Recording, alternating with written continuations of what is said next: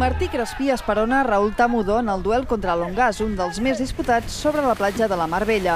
Per un dia, els jugadors del Sabadell canvien la gespa per la sorra i l'aigua.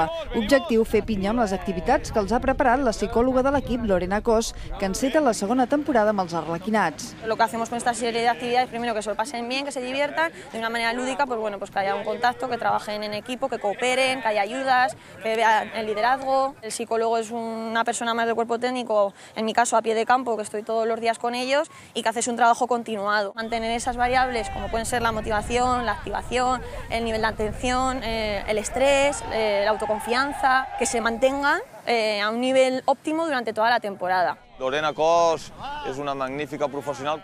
Jo li demano que participi. Eh, vull que hi hagi una comunicació diària, que hi hagi un treball individual, que hi hagi també un treball grupal i que el jugador vegi que hi ha una resposta sempre positiva amb la proposta que ella respecte a la feina que demana fer es produeix. Tener un psicólogo en el equipo pues te ayuda bastante, ¿no? Pues, en los momentos de, de que algún altibajo, ¿sabes? Pues siempre tienes ese apoyo ahí.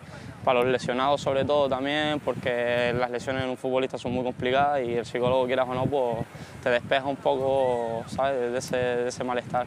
I l'últim exercici de la jornada per fomentar la cohesió entre els jugadors, aconseguir fer un castell dins l'aigua.